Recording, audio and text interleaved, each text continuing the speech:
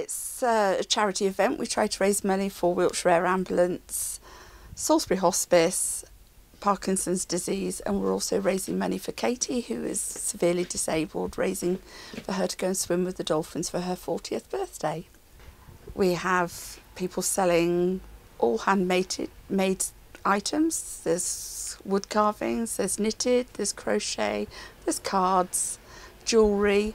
We've also got needle felting, so people can come along and have a go at needle felting at £5 and have a go and make a flower or anything that they like.